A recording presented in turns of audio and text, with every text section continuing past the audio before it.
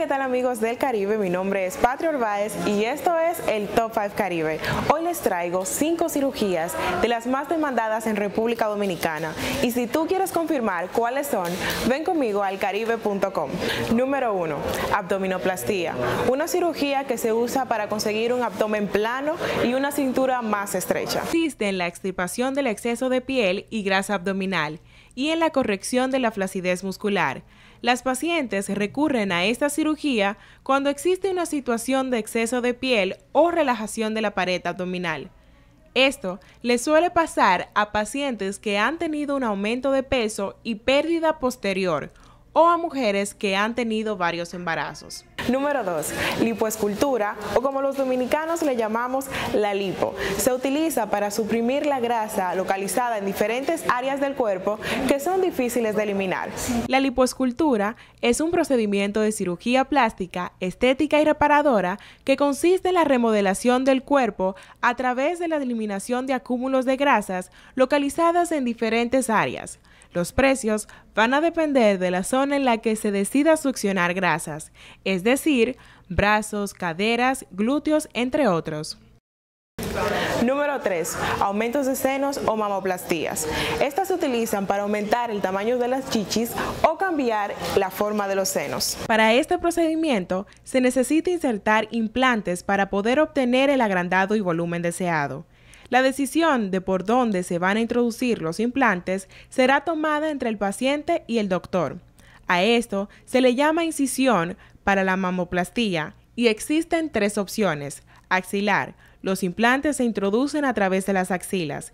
Periareolar. En este caso, el cirujano plástico realiza una incisión en el borde inferior de la areola donde limita la parte más oscura de esta piel mamaria. Y vía submamaria. Los implantes se introducen por la parte inferior de los senos. Mientras unas se ponen, otras se quitan. Y de eso se trata la número 4, de las más demandadas, reducción de senos o mamoplastía de reducción. Es un procedimiento que se realiza para eliminar el exceso de grasa, tejido y piel de las mamas. Las pacientes que recurren a este procedimiento es en la mayoría de los casos por un tema de salud más que de estético, ya que el peso de las mamas puede generar problemas como daños en la columna o desviación e incluso problemas cardíacos. Número 5. Aumento de glúteos por lipotransferencia o grasa propia. O sea, sacar grasa de una parte de tu cuerpo e insertarla en tu booty para que sea más grande. La lipotransferencia es una cirugía que combina una liposucción con un aumento de glúteos a partir de la propia grasa procesada del paciente.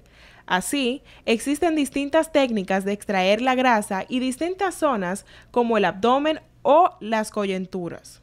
Una vez que se haya extraído toda la grasa, esta se procesa, se limpia y se desinfecta. Posteriormente, se inyecta en los glúteos, moldeando la figura y alcanzando el volumen deseado por el paciente. Si por alguna razón decides someterte a un procedimiento de cirugía, toma en cuenta las siguientes recomendaciones.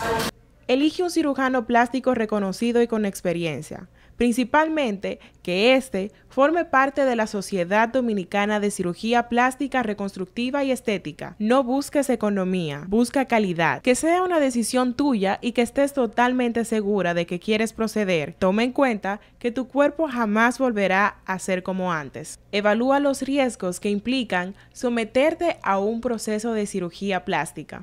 Hemos llegado a la parte final de este Top 5 Caribe. Mi nombre es Patro Urbáez y nos vemos en una próxima entrega.